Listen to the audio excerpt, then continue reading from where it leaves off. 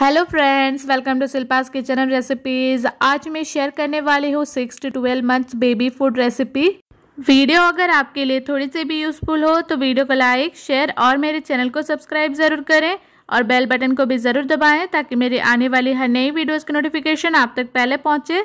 तो चलिए बिना देर किए फटाफट शुरू करते हैं। मैंने यहाँ पे एक स्वीट पटाटो लिया है और इसे मैंने पानी से अच्छे से साफ़ कर लिया है। सबसे पहले हम इसके साइड्स कट कर लेंगे। और उसके बाद इसे छील के और इसके छिलके निकाल लेंगे। छीलने के बाद अब हम इसे छोटे छोटे पीसेस में कट कर लेंगे। स्वीट पोटैटो यानी कि शकरकंद में प्रचुर मात्रा में कैल्शियम आयरन पोटाशियम मैग्नीशियम और जिंक पाया जाता है।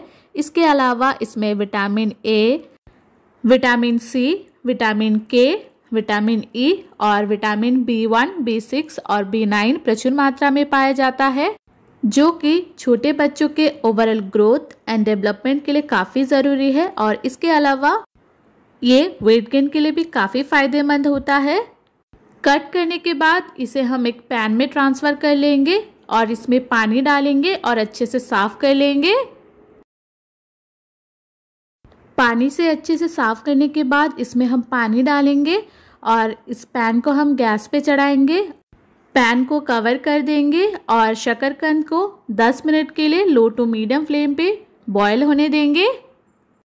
10 मिनट बाद पैन का कवर हटाएँगे और हम शकरकंद को चेक करेंगे। आप देख सकते हैं, शकरकंद अच्छे से बॉयल हो गया है। गैस का फ्लेम बंद करेंगे और इसे हल्का सा ठंडा होने देंगे। और जब ये हल्का सा ठंडा हो जाए, तब हम इसे एक मैशर से अच्छे से मैश कर लेंगे। इसे अच्छे से मैश करके एकदम स्मूथ बना लेना है। इसमें कोई भी लम्ब्स वगैरह नहीं होना चाहिए।